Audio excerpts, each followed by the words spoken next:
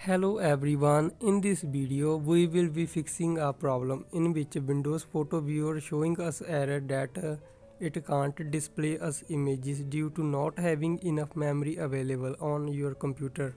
In order to fix this, go to Windows, click on Control Panel, click on Display option. Now click on Adjust Resolution or alternatively right click and go to screen resolution option. After that click on advanced settings. Now this dialog box appears. We have to click on fourth option which is color management. Click on color management. Now if your system already had created any profile please select and remove it. Otherwise you don't need to do that. Click on advanced